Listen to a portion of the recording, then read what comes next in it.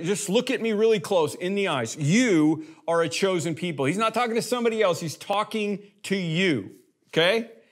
You're a royal priesthood. I know a lot of you grew up with a different kind of a priesthood thing. No, that's you. Royal priesthood, holy nation, God's special possession that you may declare the praises of him who called you out of darkness and into his wonderful light. Are you really going to rest? Would you really rest if you didn't do what God gave you to do? The message paraphrase of this says, You are the chosen ones called by God, chosen for the high calling of the priestly work. Listen, if you're a follower of Jesus, he is called not a select little group of people, not just PT or PV or whatever you're going to call me and my staff, but every follower of Jesus Christ to be a priest, to be a difference maker. That's what's referred to as the priesthood of all believers. It's how we're able to affect our community and our neighborhoods in Jesus' name.